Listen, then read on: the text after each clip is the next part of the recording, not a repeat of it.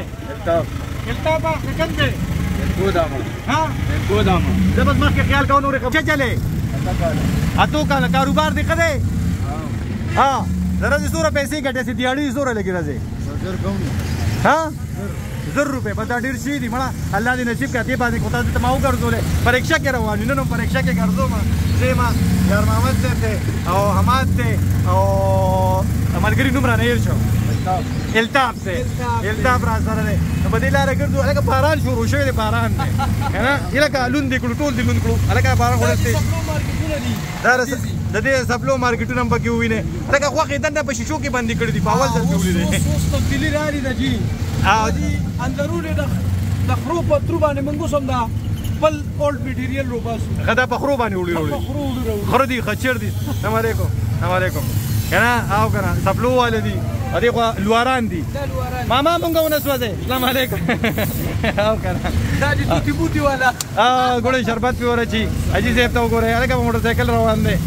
په بازار کې مګردو باران وریږي او نه ودریږي سلانجه ده او وی د وکیل خان په پیښور باندې نن شپه ده